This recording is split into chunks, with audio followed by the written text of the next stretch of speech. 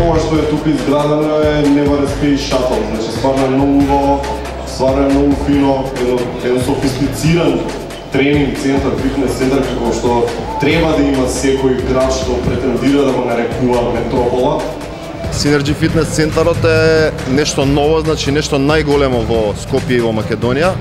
А, и самото име Синергија, значи синергија на повеќе нешто. Значи во сите други познати фитнес центри а, немаме игротека за деца.